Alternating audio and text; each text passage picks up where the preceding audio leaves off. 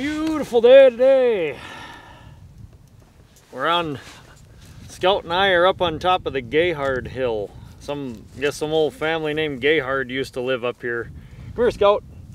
So I thought I was thinking of a joke a friend of mine told me once. Scout. So Scout's got his kind of whatever you want to call it, foo-foo look to him reminded me a friend of mine said that uh, God granted him with a built-in, his face was God's built-in anti-adultery device. In that, um, because of his face, he never had to worry about uh, adult committing adultery against his wife because he was so ugly. uh, well, we bet at first this week we got to start off with some fan mail. I came home from the chiropractor and I saw this sitting on our kitchen counter. And so I picked it up and so I read it. And so I'm going to share that with you. Dear Billy, we need more young men like you. Thank you for being real.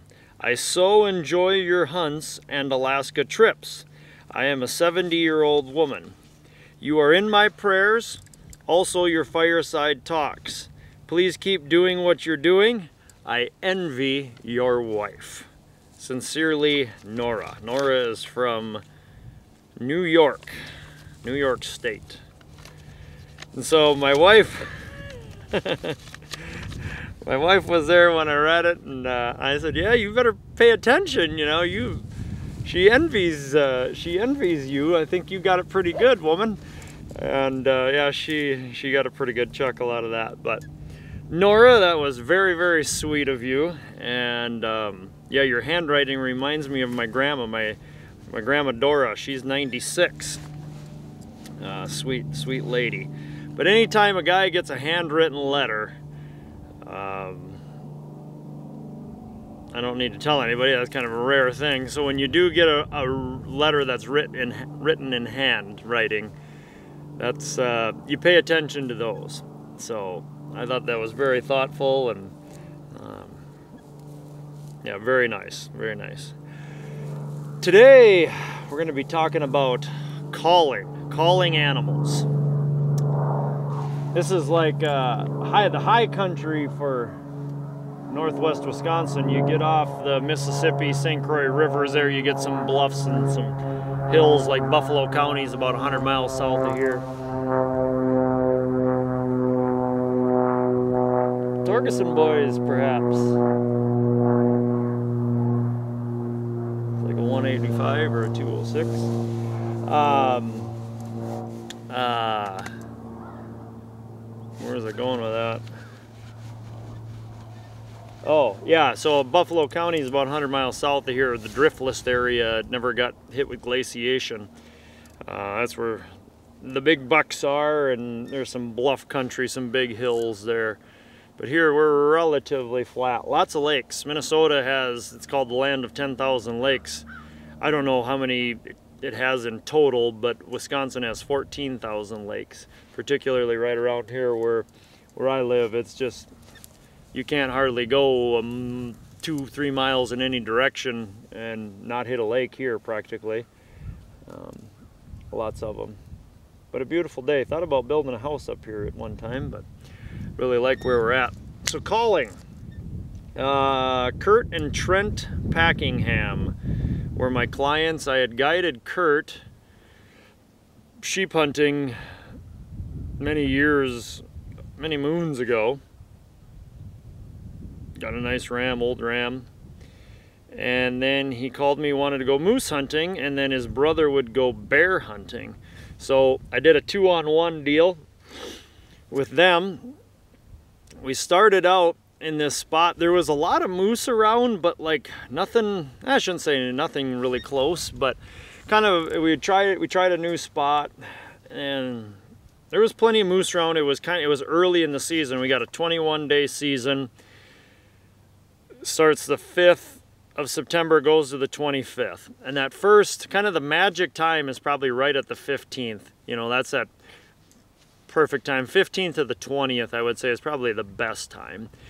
But early on, like that hunt was, sometimes, especially if it's warm, the bulls aren't real responsive, particularly the older bulls. The rut's not kicked in far enough to where the older bulls are going to be real responsive. And we're landing on ridge tops with super cubs and we're more or less calling the moose to us. Kind of the only way to hunt, hunt that country. No, not many rivers that are navigable. And then that eliminates competition too. But we were hunting for a couple of days. We were seeing some moose. We saw one really nice bull. I mean, 65 inch class. Um, he just popped out about a thousand yards away. He heard her calling, and he and he didn't come in. And we kind of made a play on him that evening, and then never never did see him again. so we were probably three four days in. We spotted one really big grizzly bear. He was like three miles off, kind of heading somewhat away from us. It was late in the evening, no way we could catch up to him. So like fourth day, something like that. Um, we'd been hunting all day. It was nice. It was warm. The weather was kind of wasn't hot, but it was it was just too warm. It was getting cold that night, so it was kind of one of those deals where you had about you know three four hours in the morning were kind of ideal, but then the evenings, it was just too warm during the day. Unless you knew where a bull was, the evenings, you almost might as well forget about them. And we were up there glassing all day. And Kurt and Trent, they said, hey, we're, we're, we're tired. We're going back to camp for happy hour. We landed right on this ridge. We were able to glass right on that ridge top, basically. Our tent was maybe 400 yards from where we were glassing just on the other side of the ridge. And so I said, "Yeah, you guys go over to mix me a toddy and I'll I'll be there, you know, I'll be back in 10 15 minutes. I'm just going to hang out here a little while longer." So I just figured maybe I'd catch a glimpse of something moving the last few minutes of daylight. Sitting there, they hadn't left five, 10 minutes. And I look up on this ridge and I see a bunch of animals silhouetted. I can see them moving. They're probably two miles away. And I'm like, what the heck is that? Is that uh, uh, caribou. There's few caribou around, but not many, so I thought it would be odd. So I threw my glasses up there, and here it was wolves. So I think I counted like 12 of them. And they started, I kind of watched them a little bit, filmed them a little bit, and then they started kind of working down this ridge, kind of somewhat angling toward us. But I knew they weren't going to get to us, you know, in time to shoot because it was getting dark. So I ran back to camp, grabbed my stuff, ran back to camp just to show Kurt and Trent. I'm like, hey, check it out. You know, got to the camp and we could see them right from camp. They come down this ridge. They kind of loiter around a little bit and a couple of them bed down and are like, oh man, that's cool. Well, there was 14 of them, 14 wolves. Um, I think there was five black ones and the other 11 were grayish, you know, somewhere in that scale. Trent asked, well, what are the odds of them being there in the morning? And I'm like, I don't know. I mean, I don't, I don't know what a pack like that's going to do during the night, but I got to figure that they're probably not going to be there, but who knows? So we wake up in the morning, eat, eat breakfast, kind of like we had been in the dark, you know, just got a tent. I was sleeping in a tent, I was cooking in it, and then uh, uh, Craig and um, uh, Craig, who's Craig? Kurt and Trent. Oh, I was thinking of my I was thinking of somebody else. Uh, Kurt and Trent, they had their own tent, so they come into my tent, get some coffee going, eat some breakfast.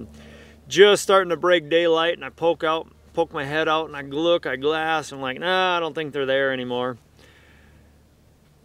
Start getting stuff ready. A little bit later, a little more daylight, and I look out there, and I'm like, they are there. They're still there. They're bedded.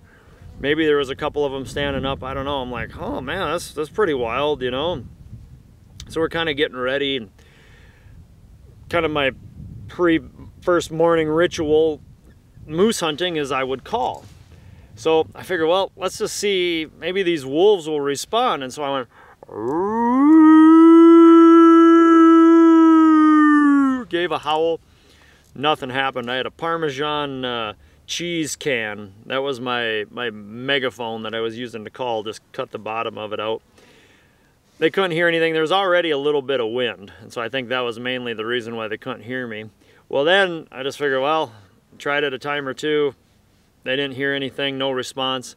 Well, I just figured, well, might as well just call moose, you know, because they're the wolves are still a mile and a half away. but they're kind of like at our level. There's kind of a series of the countries like rolling hills, fairly sparse, really not much spruce to speak of, but uh, a little bit of spruce, but there's alder and willow, but mostly open, I dare say, the hillsides, you know, so just open tundra, berries, that sort of stuff. And so they're kind of like one big saddle away, big, broad, sweeping saddle, and then they're kind of up on this little plateau where they're kind of overlooking. They got a basin, a fairly large draw, maybe two two miles down, kind of wide and broad, and then another draw below them, kind of going down to this main river valley. So I suppose they're, you know, just sitting there, you know, they're always hunting, they're always working, you know. But they had a pretty good position to keep an eye out for stuff. So I went and I blasted a cow call. Well,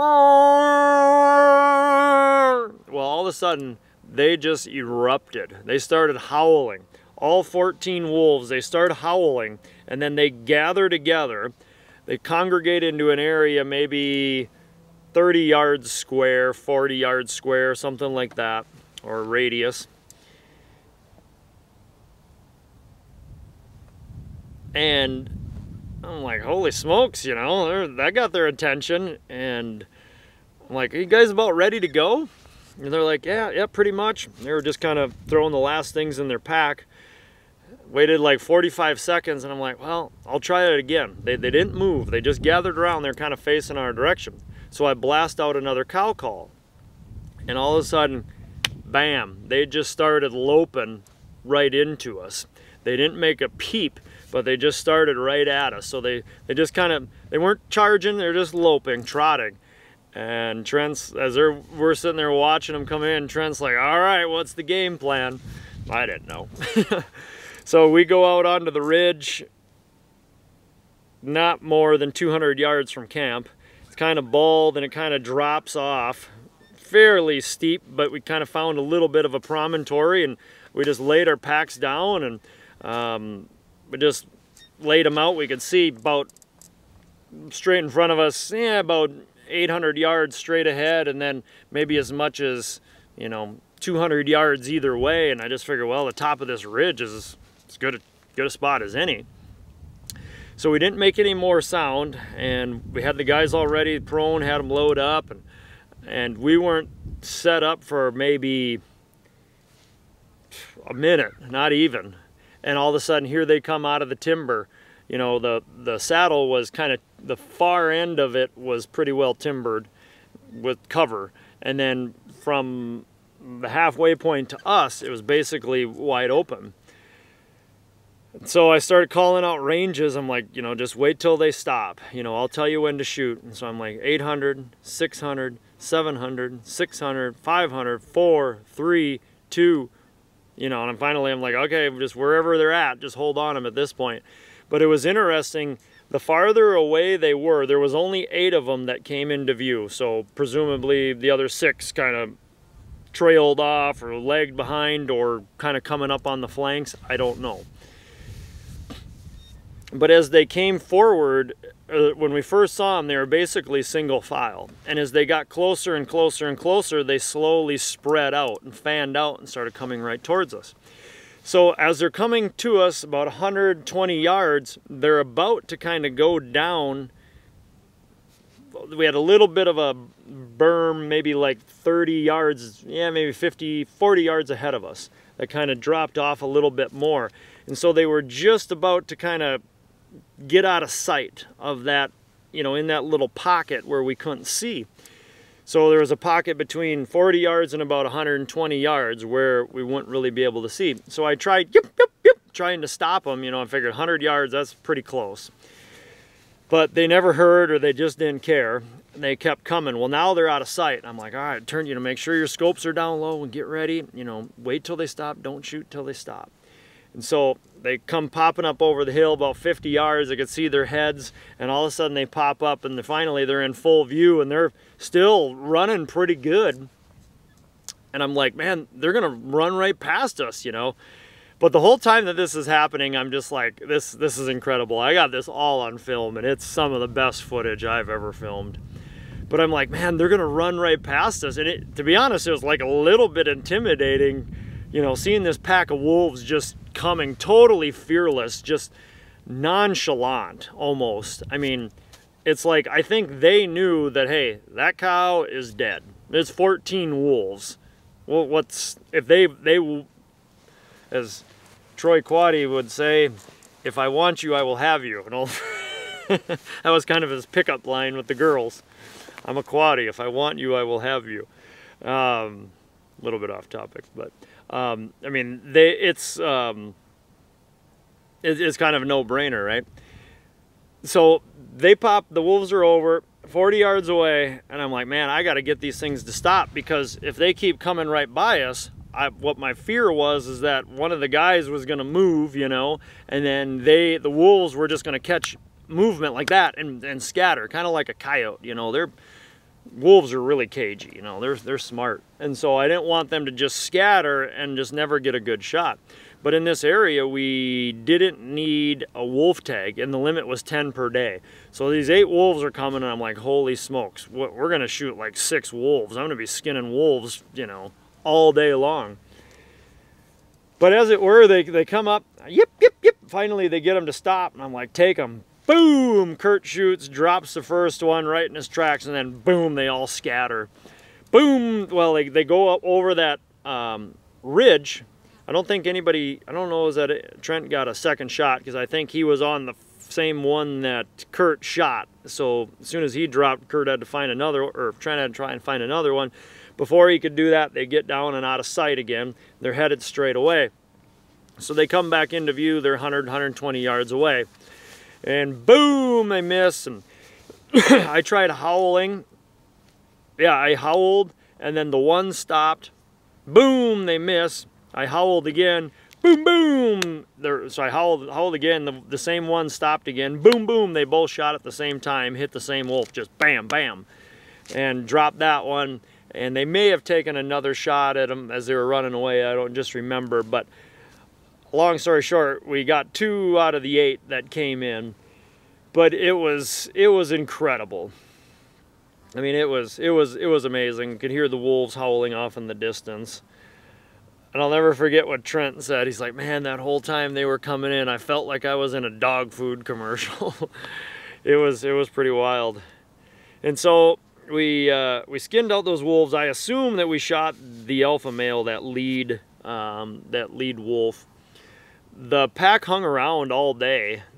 We saw them a couple of different times, but they'd never come in. You know, I think they were you know looking for the other pack mates to come join them and eventually the following day they they you know they were gone we didn't see or hear of them anymore and then I think after that after the, that pack went through and then we didn't see any moose we kind of figured oh, okay it's time to move uh, so um, Matt and Emily come in they move us go to a different spot we get settled in there and we're seeing moose right off the bat. Saw one pretty good bull with some cows and they were like a couple miles away down in some timber, pretty tough spot to go at them and it was a long ways away and we just kind of figured, well, we'll just see how it goes. That was the first morning. Then um, I think it was like noon. We walked to a little different knob. It wasn't quite noon to where we could see a little better. Spotted this bull like 1130 he was a pretty good bull, about 60 inches. He was about two miles away. He kind of crossed out of this, came up out of this timbered bowl, big, big, big, huge bowl. You know, I'd been calling all day. And he pops into view. I glass him, said, yep, that's the bull we want. Uh, you know, he's about 60 inches. And at 11 o'clock, usually bulls, particularly old ones, they're going to bed around noon. So I, he went into some timber and disappeared and i'm like ah he's gonna you know he's gonna bed for the day. I said i doubt he'll come in tonight because he's not quite far enough into the rut. I said i bet you we'll shoot him within 500 yards of the tent tomorrow morning because he was i could tell he was pretty interested you know he was kind of looking my direction our direction a lot you know and i'd call and he'd rake brush it just seemed like his temperament was at that stage. He was obviously cruising. He was seeking. I'm like, we got a really good chance of getting this bull tomorrow. But we'll be ready for him tonight. we sat there all night, never saw anything. So my hunters or Trent and, and Kurt, they're kind of thinking, man, you know, that bull wandered off. There was a lot of timber there, so he could have easy, easily snuck out on us. So the next, that night, actually kind of, no, that was the deal. It stormed. It started storming that afternoon. So we it, we got fogged in before dark, and so we went back to the tent, and it was whipping, it was spitting, it was nasty.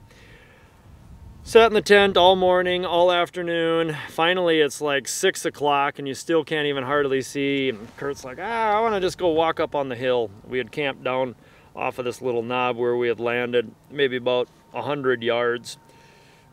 Got in some protection there, and I kind of wanted to stay sequestered and uh, keep a low profile scent wise and otherwise. So I'm like, yeah, so that sounds good. This might break up anyways. I mean, it was still pretty foggy. You couldn't see. And I'm like, I'll just hike up there with you. The precipitation had stopped and I figured it would probably break. About the time we got up there, there was just a few little sucker holes you could just barely see. And so we hung around a little bit. You know, we were pretty quiet because moose are best senses hearing. So we were sitting there kind of just watching the fog and every once in a while you'd just get a little break and you could glass just a little bit and i'm like you know i'm going to go over on the other side of the ridge and peek over that way you know if you guys see something come over and grab me vice versa. But just kind of basically stay in these two areas. We're going to separate by about no more than 100 yards. But obviously when you do that you want to make sure you know where the other party is so that you can get one another if you need to. So I go hiking over there and I'm just kind of lollygagging along, you know, through the fog. And all of a sudden, I mean, it was like, like a curtain at a, at a, on a stage. It just like the, the fog parted and there's just this hole that just opened up and there's this bull moose standing right on this saddle at the head of this draw that was in between our tent and where we were calling from the last the evening before. So we got our tent down here the knob we were calling from the evening before and then right in the middle there he is just sitting there just staring and listening you know with his antlers a moose's antlers are basically a satellite dish those palms sit out and then that sound comes in you know cow comes into heat or they're vocalizing the sound comes in hits the bull's antlers and they're perfectly uh, positioned and angled so that the sound reflects to their ears. So I've called bull moose from five miles away, and I mean other guys have too. That's not, you know, you know. I think I've probably talked about this before. So that bull is just sitting there staring into that valley, smelling, listening. You know, the the thermals are coming uphill, and he's just sitting there checking out. Where's that cow that I heard, you know, yesterday afternoon? So I race back and I grab Kurt. I'm like, that, that bull's right there. I mean, we're talking 500 yards from the tent. And he looks at me like, yeah, right, you're, you're kidding. I'm like, I'm serious. So we sneak in and it kind of starts raining again. And we, we called to the bull. We, we, we got into position. We called to him a little bit to kind of draw him because it was pretty brushy where he was at. And we, long story short, we got him to come out he was maybe 400 yards from the tent. Yeah, he was probably 400 yards from the tent. Um, called him to within about 150 yards, and Kurt dumps the bull. And it was pretty exciting, you know, it was kind of getting pretty late into the hunt, and long story short, we never did uh, get a... Uh, never did get a grizzly bear for Trent. Never did see one at that spot. We saw a, a black bear or two um, but never did get a uh, never did see another grizzly well then so that we got in a packer that was kind of an interesting story um, yeah that packer was was an interesting dude. Yeah. He uh, was telling me about all the people that he met in prison. He was a pretty good packer good good dude. His name was Nick. And uh, he met Butcher Baker, this notorious serial killer. Um, so yeah, I don't know why why Nick was in prison, but Nick was a good dude, um, a hard worker. So yeah, didn't didn't really anticipate sharing that into the story, but it adds a little bit of Alaskan flavor to it. So yeah, that was kind of kind of the end end of it. You know, uh, the hunt was all done, and um, but kind of my my whole point to lead into that was the effectiveness of calling, and with moose, that's primarily how I've always hunted them. You know, different country, you gotta hunt, use different methods, but that's always been the best method that I've found and by and large. You know, sometimes you don't have to, to use it, and sometimes, you know, maybe spot and stalk, you see a bull bed, you're better off just sneaking up on them. But without a doubt, most of the moose that I've guided for have been called in. That is the only time I've ever called in wolves and gotten one. I've called a couple in before, either before season or whatever, uh, but usually the wolves have just kind of been happenstance, just luck, or you have a kill and then they'll come into the kill. But what's interesting is when a wolf, like in one, if there's one or two, they'll come into a call or kill or anything like that. They don't have near the uh, audacity. They're not nearly as brave. They're a lot more cautious. Where when we had that big group, they were very, very bold, very confident. You know, they they they were fearless. They were fearless.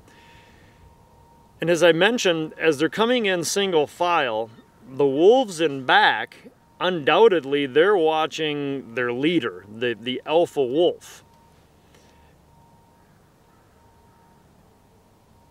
But as they get closer to where they know that this, or they think this cow is that they're going to kill, they start to spread out.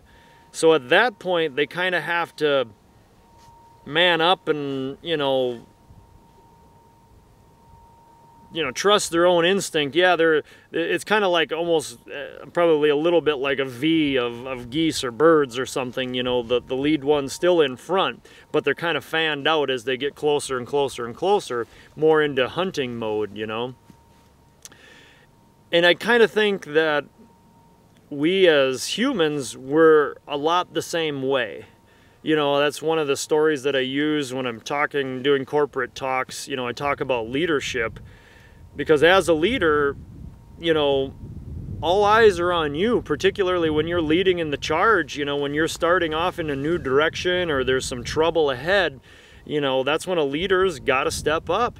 But when it comes time to do battle, you know, everybody's got to kind of assume their position and, you know, tackle their role, address their role, do do their job.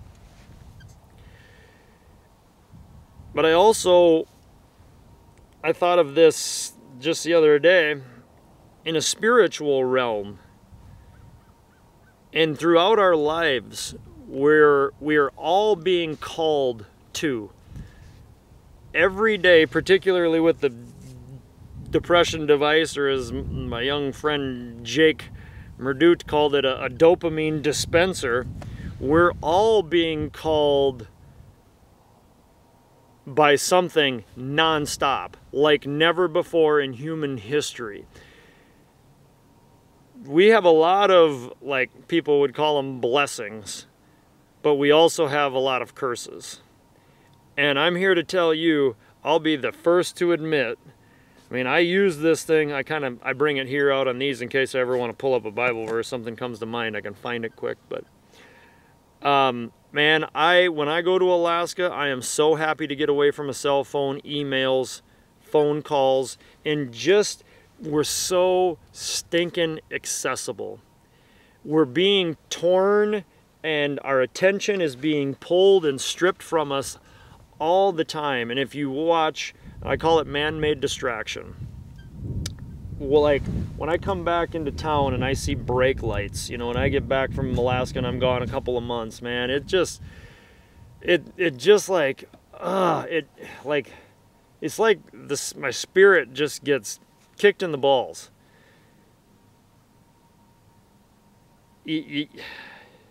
I don't know how to describe it. I mean, I, I guarantee you there's a lot of people that kind of know what I'm talking about. So I want to try to like put this into perspective. But what I love about my job is the lifestyle. It's like all you basically have to think of is just staying alive and then react to your environment of what's going on. It's like your mind is like basically empty all the time. I mean, yeah, you're you're thinking, you're daydreaming, really. But you kind of head out with a plan, and let's say, like with us moose hunting, you're basically going to go up on a knob, sit there, and you're just going to call all day, and then you just wait until you see something and then you react to it. Whatever it is, you just react. Whether it's the weather or you see a bear or wolves or moose or whatever, you just react. You know, you, you can only plan so much in our daily world. You know, we're constantly getting information and then we're having to discern it and figure out whether it's useful, whether we follow it, whether we ignore it. That stuff wears me out. I mean, it like I mean, it could drive a guy insane. I mean, and there's plenty of people that that's happening to them right now.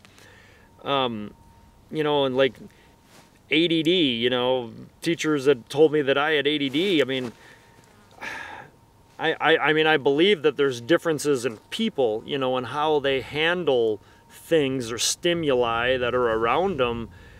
But I, I just think that I don't know. I, don't, I guess I don't really think that I really believe in that label.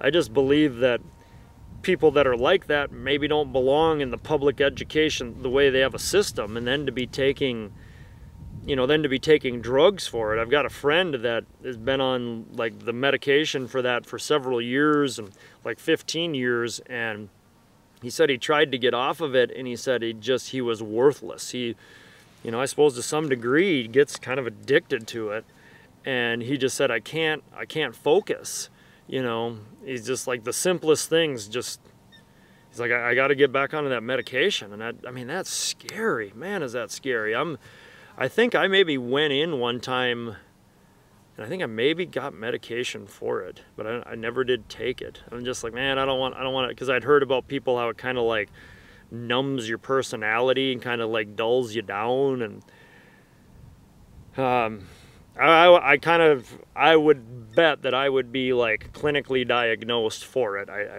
I, I would guess. I mean, I have looked into it a little bit, but but I think all that means is that you're just not meant to do the status quo.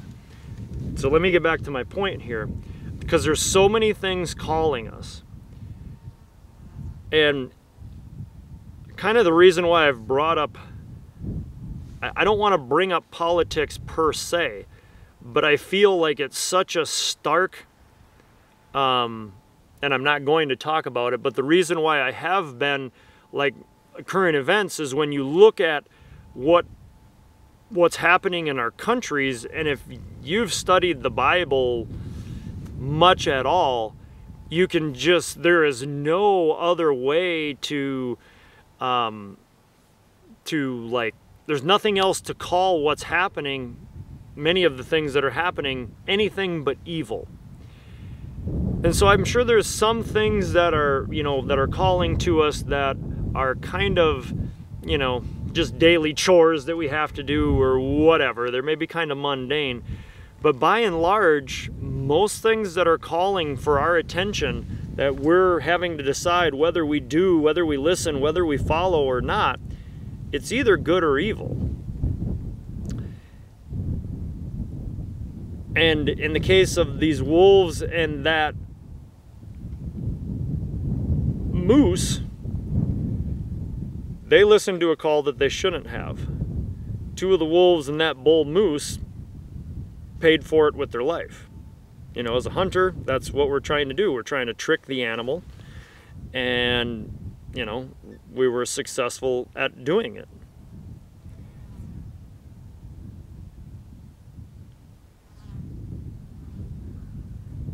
But as humans, if the Bible's true, and there, I believe that it is, there's, you know, it just, I'm, I was convicted many years ago, and the more I study it, the more I believe it. So there's nobody, nobody's going to change my mind. But at the end of days, there's going to be a reckoning for the calls that we spent our life listening to. And if you're listening to the flesh, the ways of the world, which ultimately is sin, the Bible says the wages of sin is death.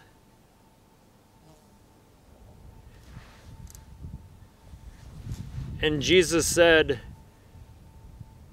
No one will enter the kingdom of heaven, no one will come to the Father except through me. So that's a that's a call.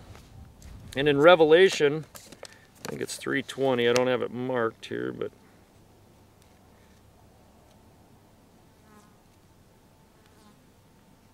Behold, I stand at the door and knock. If anyone hears my voice and opens the door, I will come, come into him and dine with him, and he with me.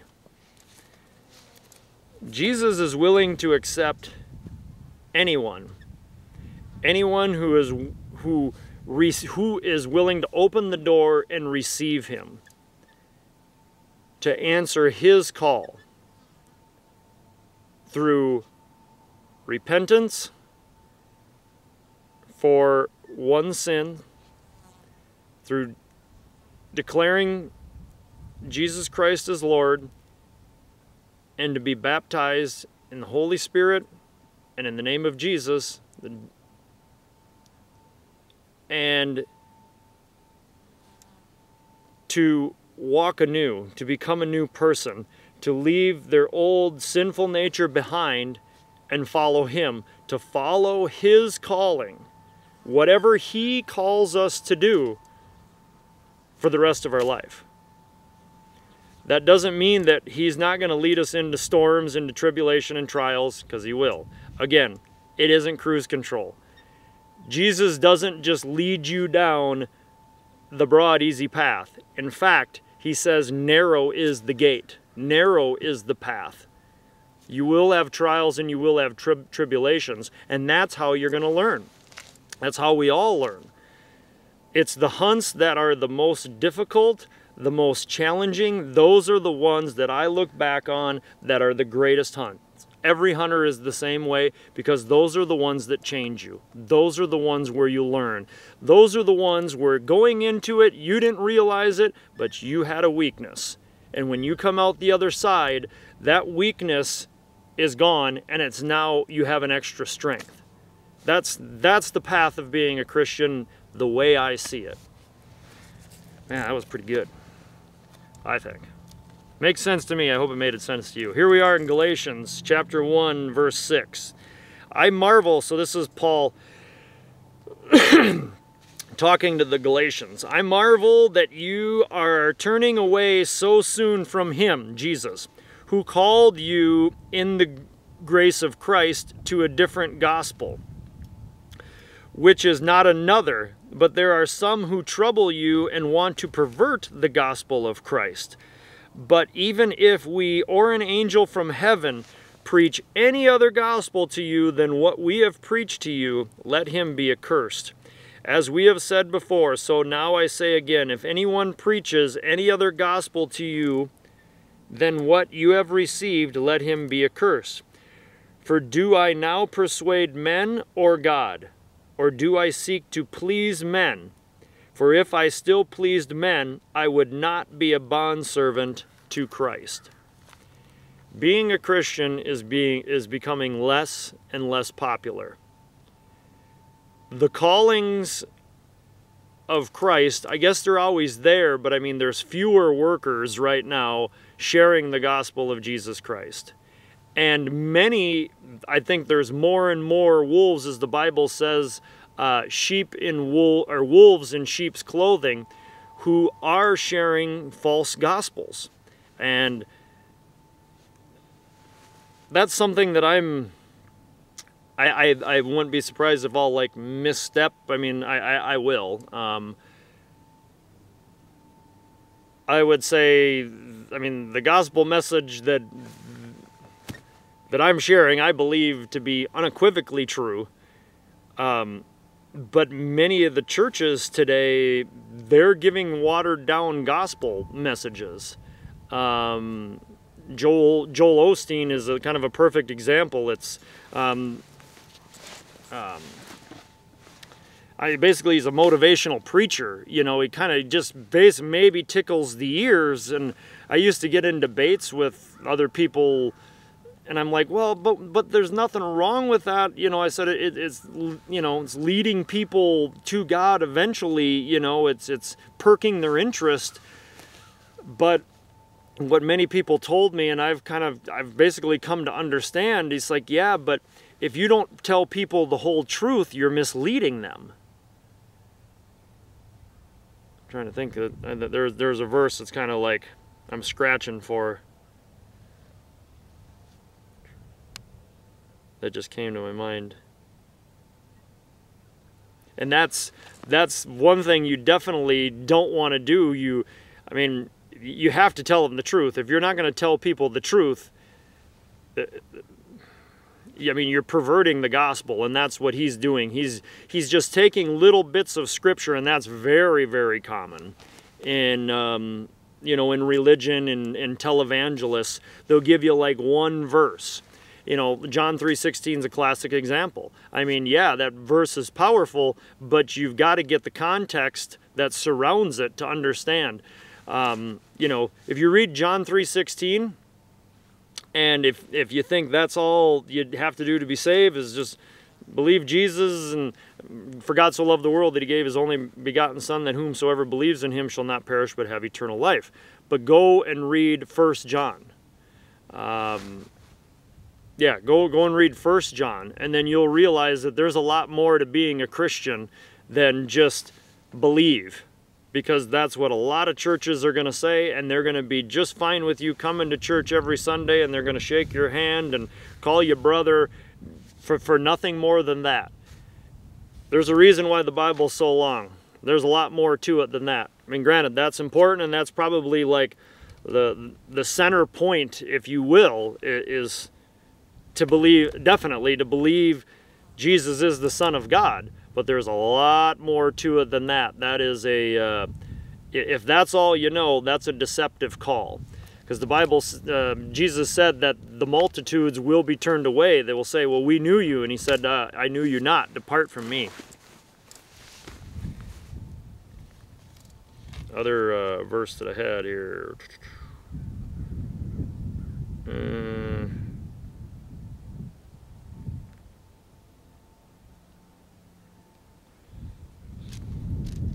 I didn't really mark this very well. Sorry about this.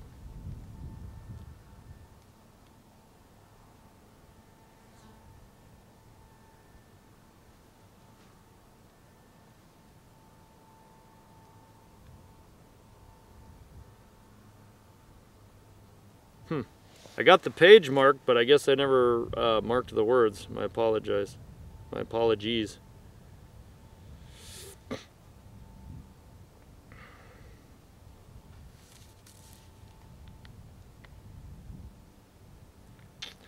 Um, chapter 6.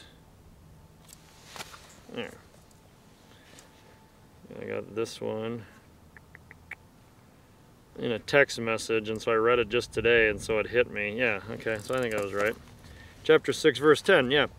Uh, talk about the armor of God. Finally, my brethren, be strong in the Lord and in the power of his might.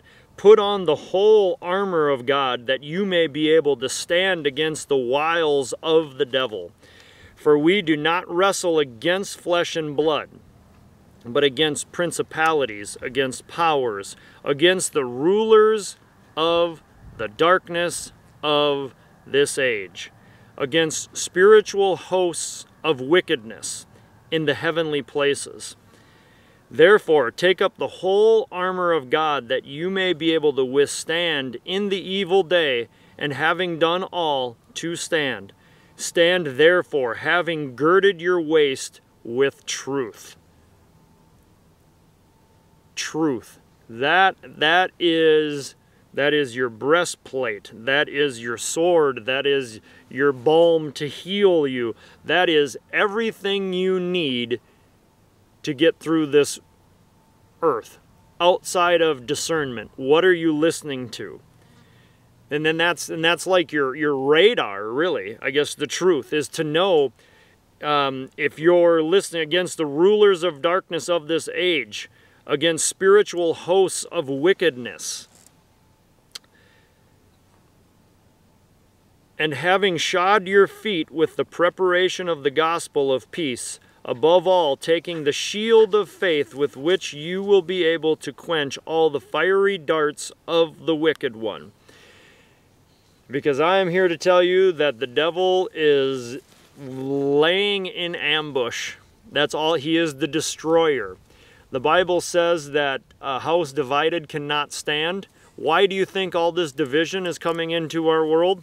That's the devil's design. That's the way he wants us. It's the old tact, oldest tactic in the book. Divide and conquer. Nobody knows it better than the devil. And take the helmet of salvation and the sword, the sword of the Spirit, the Holy Spirit. When when Jesus was with Peter, he was he was sinning. Jesus when when um, when Jesus told Peter that he was going to be crucified, Peter said, Absolutely no way. And Jesus said, Get behind me, Satan. But when Jesus died and the Holy Spirit came into Peter, Peter was an unstoppable force. So the Holy Spirit, at least in some realm, I mean, maybe, maybe this is like a little bit of a stretch, but I mean, is giving us more power than being with Jesus in and of himself. I mean, when Jesus called to Peter and was it brother Andrew, I believe, I'm pretty sure. Yeah. You know, he called to them. They basically left their nets, they left their father, and they just left everything and they called him. Or they followed him. So, I mean, clearly they knew that there was something about Jesus that was undeniable that they they knew they needed to follow him. Um, but I'll, I'll get back to this praying always with all prayer and supplication in the Spirit, being watchful to this end with all perseverance and supplication for all the saints. And for me, the utterance may be given to me, that I may open my mouth boldly to make known the mystery of the gospel, for which I am an ambassador in chains, that in it I may speak boldly as I ought to speak uh, Paul was in prison much of his ministry, so I assume that that means that he's in. I could look that up, but I guess I didn't. I apologize for that. But I'm guessing he is in chains. He's in, or at least he's in prison at that point. Um, yeah, I won't read the rest. There's really nothing there. Um, but that's how bold he was. That's how real it was. That's how strong that calling was is it was totally undeniable. There was there was no other calling that came first, and that's the way it's supposed to be. Um, um, Jesus said the law of the prophets can be something, and I've said this a million times, um, because I'm, I'm I ain't real intelligent, so I got to keep it pretty simple. Um, uh, love God before all things, and love your neighbor as yourself. And if you're loving God before all things, I mean, that's that's your ultimate calling, and that's our that is our ultimate calling in this life. We're going to be called. We're going to be um, distracted all the time. And another word that I've, you know, I'm I guess I'm kind of preaching for myself. I'm I'm not really preaching. I'm just I, I guess I feel the only way that I can really help people is to um, basically just share my walk. You know, it'd be like me taking you hunting in Alaska. The best I can do I, I, is is just teach you what I've learned. You know, and this is what I've learned is that discernment is everything. Is to know what call to listen to, what call not to listen to. And that's why you have to be in the Word. If you're just going to some church and just listen to a preacher once a week, you're basically just you're just following the alpha wolf Okay? Jesus said, Come to me, follow me. That's who we are to follow. We're not, yeah, you've got a pastor that's, you know, gonna, gonna help you, that's gonna be your spiritual guide. Yes, you know, um, you know, there's there's people that that are able to teach you things um, that you don't know. There's no doubt about that. But ultimately, the one we are to seek is Jesus Christ. Heavenly Father, I thank you for this beautiful day, Lord. I thank you for my family. I thank you for Nora, who was kind enough to write me a handwritten letter of uh, appreciation and encouragement.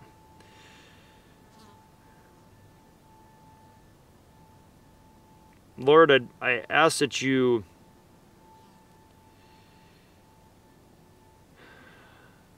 you promise us wisdom. Anyone who prays for wisdom, there's a big difference between knowledge and wisdom. And it seems like oftentimes the more knowledgeable we are and the more self confident that we are, the less wisdom either that we have or that we show or that we use. Lord, grant every one of us that are praying here today discernment, discernment to recognize your calling, and to be able to decipher evil callings that would lead to our destruction. Embolden us to follow your calling, to walk away from our old sinful ways and leave them behind. And you promise that our old sinful life you will you will never remember it as far as the east is from the west. Lord, I ask for a special blessing over Don Johnson and his family. Lord, I ask that you continue to heal him and give him and his family strength. Lord, I ask that you be with Barry and Karen, Jeff, Riley, uh, April, Nate, Jeff, and Caleb.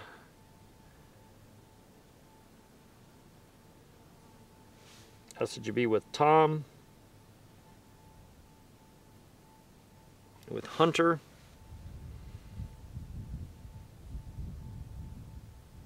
With Matea, with my family, Lord, with Kim,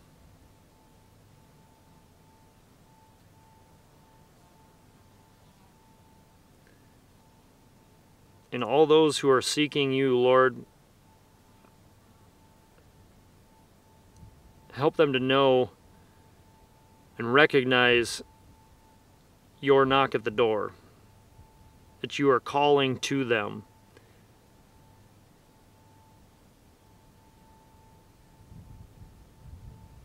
You will convict them, you convict us all when we're following the wrong call, when we are being led into an ambush, a trap of destruction. Lord, I'd ask that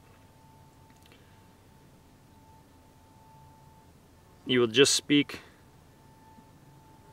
more clearly than ever to help others to turn from their sinful ways, the broad path that leads to destruction, and follow you through the narrow gate that leads to salvation and eternal life. In Jesus' name we pray. Amen. Um, oh, quick note. Uh, so I got a hold of uh, Joe Rogan's um, or yeah, I, I, guess I sent an email to, to Joe Rogan. My wife had it all ready for me, so when I turned on my computer one day, it was right there to type a letter.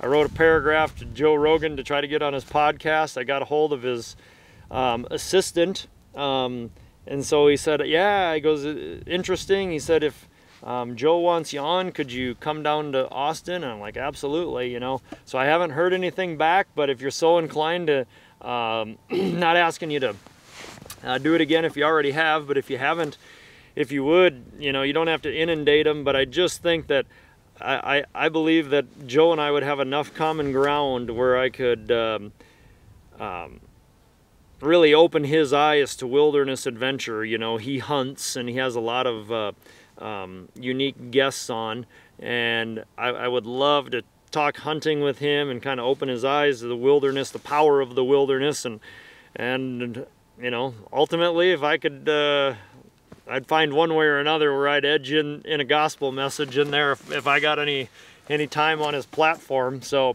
um, if you'd be so inclined to do that, I would really appreciate it.